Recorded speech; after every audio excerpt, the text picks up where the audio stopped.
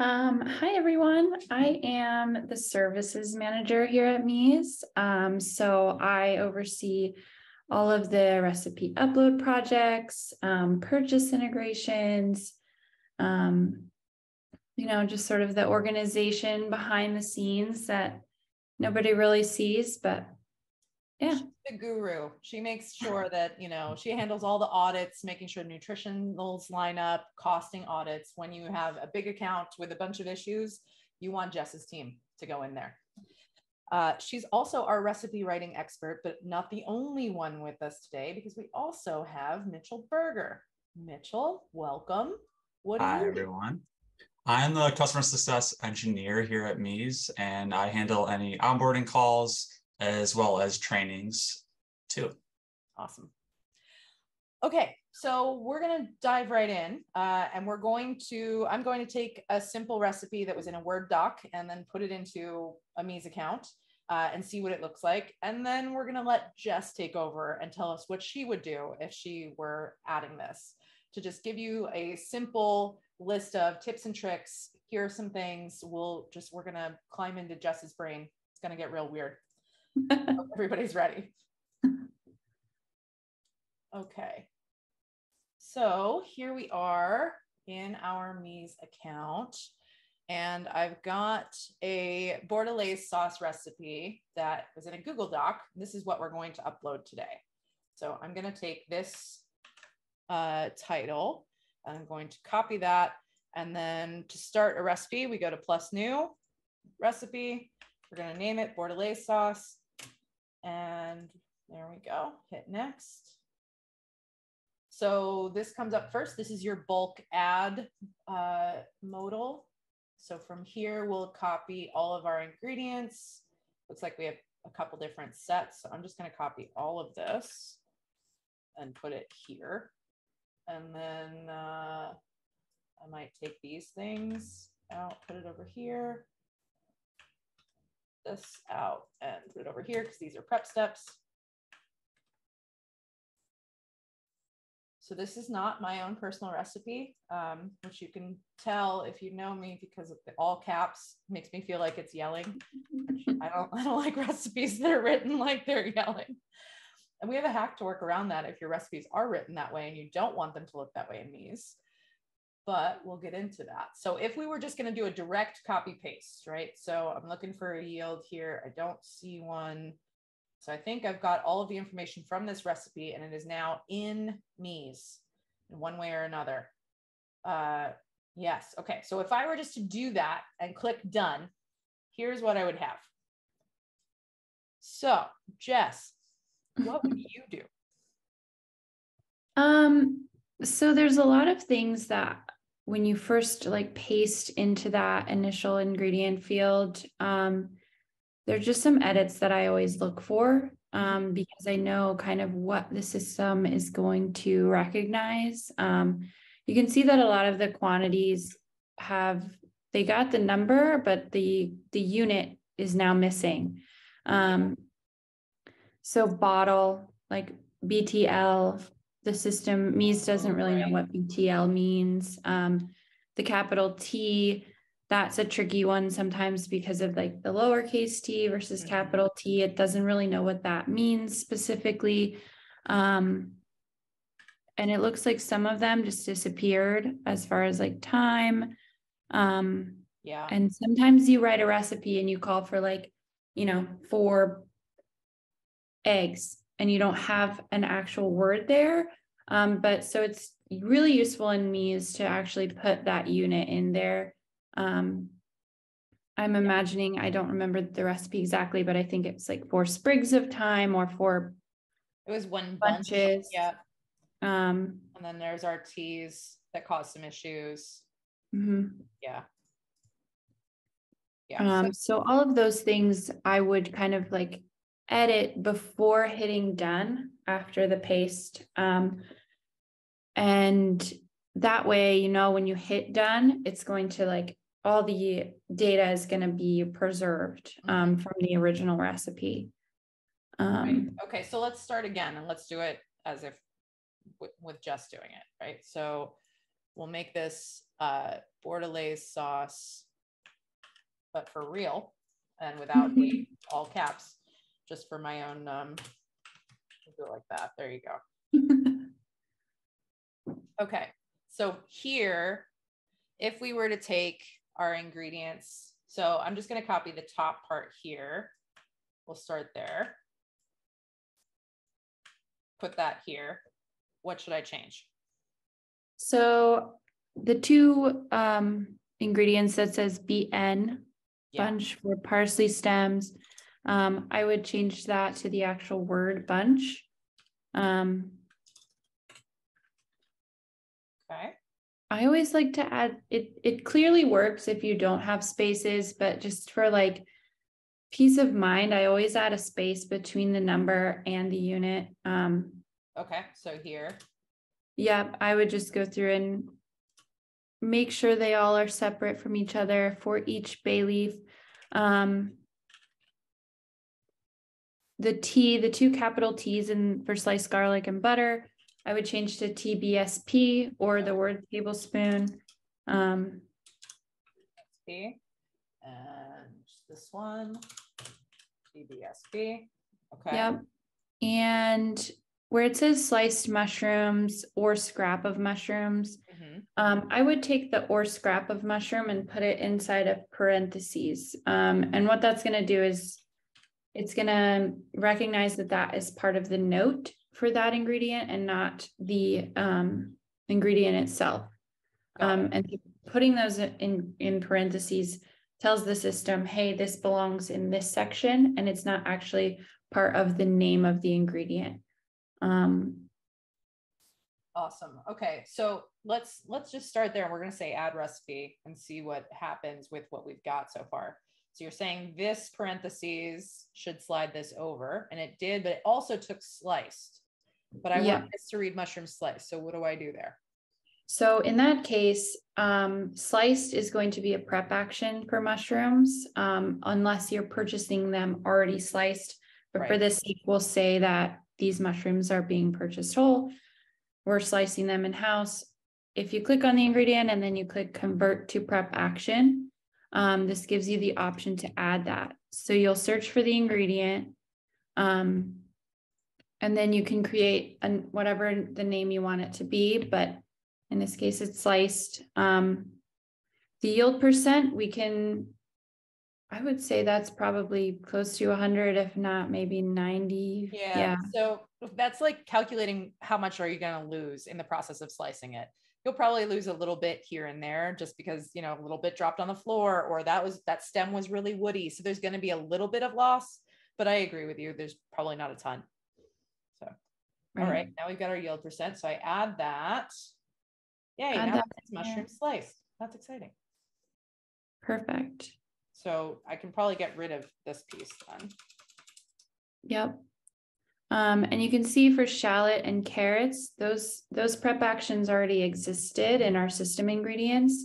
Um, so it recognized that that's um, the prep action for those ingredients. Same thing with garlic. Hello. Yep. Beautiful. Yes. There we go. Can we, uh, okay, so if we, now we want to add more ingredients because I have more and I've already hit the thing. So now what do I do? Um, there's the button down at the bottom near the middle of the screen that says add ingredients and it will bring that pop-up back up and you can add in bulk again from there. Okay, so now I'm going to add the wine and then we've got these. There we go. So what would you do with this? Um, for bottle, I would just type in the word bottle. Unfortunately, we don't know what size of a bottle that is. Mhm. Um, so we're just gonna have to go with bottle in this situation, but um, there already exist units in the system for like a bottle, seven hundred and fifty milliliter, bottle, one liter. Um, so you can choose those if you knew what size you actually bottle you were using. Um, and so you already changed the tablespoons. And then again, for sugar in the raw, I would cha- put parentheses around um, or two packages. Um, red wine vinegar, looks good to me. That's such a weird abbreviation for the word packages. I'm I'm stressed about that.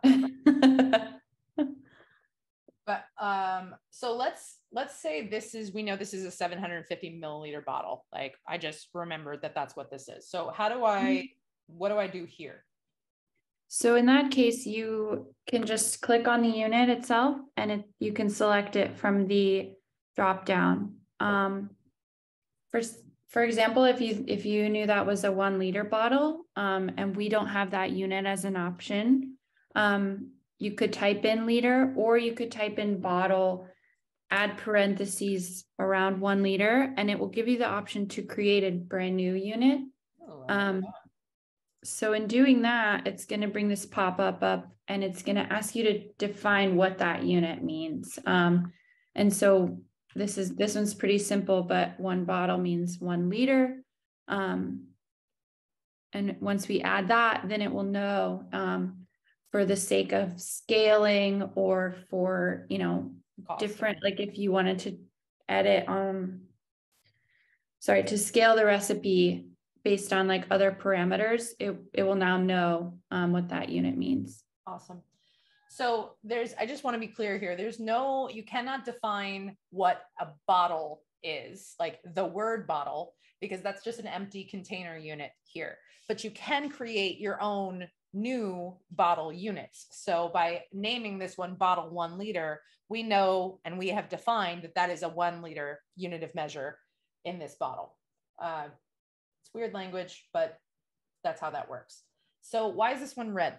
And what do I do? It's broken. Um, this one is red because meez doesn't recognize it as an ingredient in the database of system ingredients. Mm-hmm. Um, so it seems to me in reading this recipe that this is likely something that's made in house and not necessarily an ingredient. Um, so this one, I would say, if you click on the ingredient, it brings this drop down and you can choose to create a recipe. Um, and what that's going to do is create a brand new empty blank recipe um, from this view. And then once we click done in this recipe, we can see um, by that little arrow right there that it's a recipe. But in going into it is where you could add the ingredients for that recipe and edit um, as needed. So I could go in here and add that in. But let's say inst- I actually, I mean, you're giving me way too much credit. I I buy veal reduction, but definitely definitely buying that in. So how do I do that? Um, so at this point, since we already created it, maybe we call it veal veal demi or yeah, that works. Um, so if, once you type in the unique name of the ingredient, um, you can actually create a brand new ingredient from this view as well. So you would just click create new ingredient. Right. Um, and there it is. Yeah. Perfect. So now if I clicked on that, that takes me to an ingredient page as opposed to this another sub recipe. Uh, and that makes much more sense to me. Okay, great. Cause yeah, we don't, we have to, we don't have time for this. I make bordelaise. Like I feel like I'm already ahead of the curve. um, okay. So now I've got, now we have the prep method. So is there like a way to get back to that bulk add, like where I just had that big box, or do I have to go through this and do this individually? Um, no, you can click on that button that says add prep steps on the very right hand side and it will bring it up just for the prep method um, side of it. Awesome. So now I'm going to take this because it's a prep step and then this guy. Ooh, it hurts. Uh, and this guy. Okay, and I'm going to show you uh, a hack. This is how I would fix this if I were doing this. Um, just to get rid of the all caps. If you have recipes that are written in all caps and you don't want it to be like that, if you copy and paste, so I'm going to take this prep method and copy and paste it into a Microsoft Word document. So this is one way of doing it. There are many. Uh, I'm going to highlight all of that and then I'm going to push Shift F3 and I can cycle through. Do I want it all lowercase? Do I want to capitalize every the first part? That's what I would like to do. So quick trick, if you have Word, use it. uh, I'm a fan. It just, it hurts my eyes less. Uh, I'm getting on in years. What can I say? Okay, so done, or would you fix something here? I mean, this looks great. These are all pretty straightforward. Um, the one thing to note about copying and pasting um, into these fields is anytime you have a line break, or essentially anytime you have like an enter, that you've Yeah. hit enter on the keyboard, um, it's going to recognize it as one, you know, the next step. step. So there's a couple Um, things here, I think, where like, we're probably, we're taking that to sec and then adding the veal reduction and peppercorns, that's all kind of one step, maybe, I- maybe you could separate it, but I wouldn't. Um, and then, yeah, I think we're there. Yep. Good. Looks good to me. Chinois does not have an E, who knew? Okay. All right, so now I have prep steps and I have ingredients. I don't have a yield. Um, I'm gonna make this so that it yields one gallon because I just found out that it yields one gallon. Just so that it has complete picture up here. So it's always best practice to have a yield for every recipe. Um, and if you don't know what it is, the next time you make it, stop, take a measurement, whether it's in weight, volume, or if maybe your yield is one serving or a hundred servings or whatever. How are you going to use this recipe? That's what your yield is. Um, if you know that you're going to ask your cook to make 10 gallons of Bordelaise sauce, then you want to write it in gallons, right? How are you going to call for that? Okay, so how could we make this better? Like, I want to be the coolest of the cool of meez recipe writers. What are what are the what's the next level, Jess? Take me to oh. 2.0. Um, some things you can do to your recipes would be to add notes, um, add headers. Um, so you have the option to add headers on both the ingredient side and the prep method side. Um, and that would make sense maybe based on your steps. Um, you know, in this case, we could say vegetables for sauteing, and you could make a header. Um, and then you could make one for the reduction part or adding the, um, Sauteing is a weird word to write, so I'm just it here. and then drag this to my vegetables. And then Yeah. then that's like our first set. And then I think our second set starts at wine. so then maybe, Another I don't know what you would call that, uh, second set. Perfect. So we put that here and we can break that up a little bit. Okay, so now we've got first set, second set. And notice that like this recipe says add the wine reduction, well, add the wine reduce. So I would fix that, but um, until almost dry and then add veal reduction and peppercorns, but it doesn't talk about vinegar or sugar at all. Oh, true. So weird. Um, so like just best practices, make sure that your ingredients that there's a method for all of your ingredients that you've included that because otherwise the cook gets to the bottom here to the bottom of the the recipe over here and they would never use these two things. I'm sure that's just seasoning to taste or whatever although i don't know that i've ever used sugar in the raw for bordelaise but whatever each their own. Um anyway okay so just to show what that would look like. So now we've broken that up so if you're a cook reading through this, these headers really help to like space it out. So it's not just this overwhelming list of ingredients. It's, oh, I can see and I can follow. I've done all of this. I've done the vegetables for saute. I know my second set, I'm going to get this meat ready before I move on to the next step. Um, okay, that's cool. And then you also said a note, Jess. Mhm. Okay. Yeah, so you can add notes uh, also to either side of the um, recipe. So a note could be anything that doesn't really necessarily fit into a category of a prep step or an ingredient. Um, you could say like, make sure to cool this, you know, cooling practices or um, anything, you know, also on the ingredient side, you could add a note that says something like optional substitutions, um, you know, ingredients that could potentially be in the recipe if you ran out of I don't know, the red wine vinegar, what you could add instead, um, things like that. Um, and the notes actually have a lot more um, editability. So you can change the color of the font. Um, you can change that it's bold. You can add bullets. Um, so it's just another way to like add extra information to your recipes that maybe isn't necessarily in, in the prep method or an ingredient. One thing that's a great point, Jess. One thing I like to call out here is um, that you can also uh, link things in your notes so you can create hyperlinks. So let's say you have uh, a website that you use all the time for methods of straining through a chinois. I know we're reaching here, but like, let's just say mm-hmm. you have that and you want them to follow this practice from this chef that taught you and whatever. And so there's this YouTube video that you want them to be able to reference. You could link that. So let's say um, we took that doc or whatever. Let me find a random. We'll just go to YouTube. There we go. All right. So we could take the URL and let's say you, um, if you aren't sure how to strain this properly, watch this video. And the words this video, I'm going to highlight those and then hit this fancy chain link button. And here I'm going to paste in youtube.com because this video doesn't exist. And then that will, I can set this to either open in the current window or a new window. And then when the cook is reading through this, they can see this note, you know, red if you want them to feel bad about it.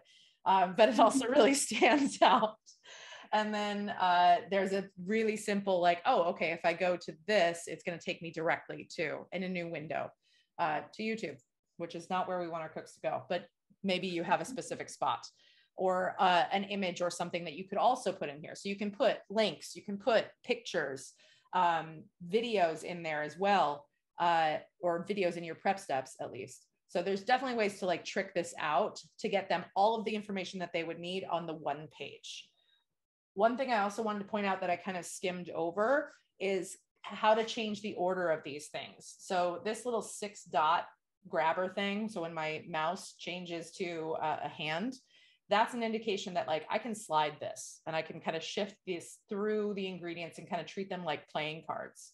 Um, so if you're wondering how to kind of move things up, let's say I want this at the very top of my ingredients because it's the most important thing, or I would like this because um, it's a very important note uh, to be at the top, that can be there. So that's a header. This is a note. And you can add both of them on either side, add header, add note. Again, this is a note, this is a header, add header, add note can happen there. All right. Um, one other thing I wanted to say too is if you say you forgot to add one ingredient, but it feels like you don't really want to like copy and paste it, um, you can actually add the ingredients individually as well. I tend to not do this, but if you, you know, just for like a one ingredient that you're searching for, it makes it super easy. Um, so you can, you know, go in there and type, start typing in um, the ingredients and select them from the list. Um, so this, and this, this list is clearly missing salt. Just saying, like yeah. with vinegar and sugar. Um, yeah.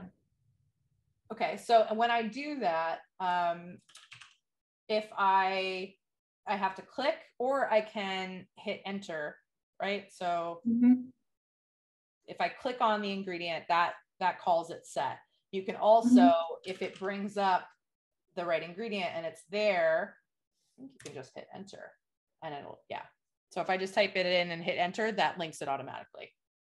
And you can also type in the quantity and unit if you want. So you could mm-hmm. type in, you know, one tablespoon of salt um, Let's be serious. oh, there. Okay. And so, yeah, it will grab, um, it will recognize if you do it with, um, with the, with the quantity and units unit. that we use uh, there that like um, that don't really have a measurement attached are to taste or as needed. So if you're writing in something, best practice is to always have this uh, the unit filled in just so that as a cook, you're reading through and you understand right away that salt is to taste. Okay. And when it comes down to a calculation, if you're costing this recipe or attaching nutritionals to that recipe, that calculation will come through as nil. So it will be marked as a zero.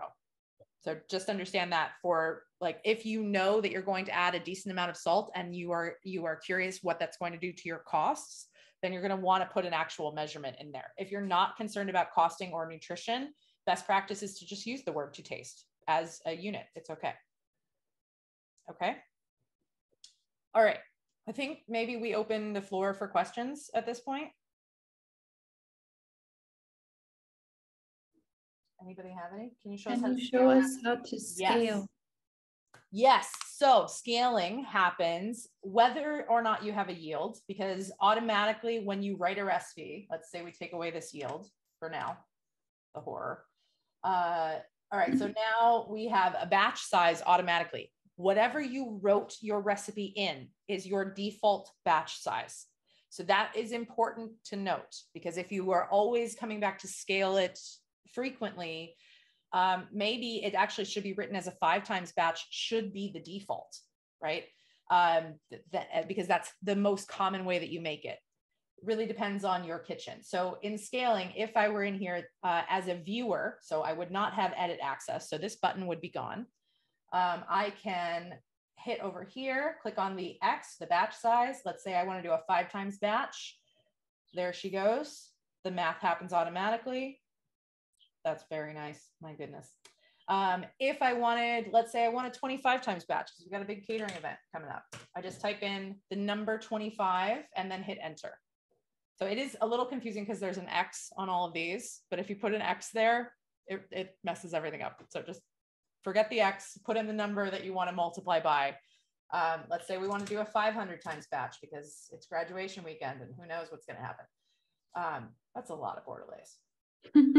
a thousand bottles flying. Yeah. So uh, when I go back into edit, it returns everything back to the one times batch, right?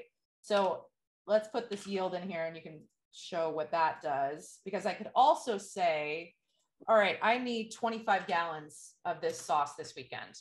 That is going to, I can change this as a viewer as well. So if you tell your cook, you need to make 10 gallons of this sauce, that'll show up here. Um, so you can scale on either side, whether it's batch size, make a five times batch of this, or it's, hey, make 10 and a half gallons. You can do that. You can also change the unit here. So let's say um, I want you to make liters of this. Uh, all right, so let's say I need 10 liters of this sauce. I can change that as well because I'm going volume to volume there.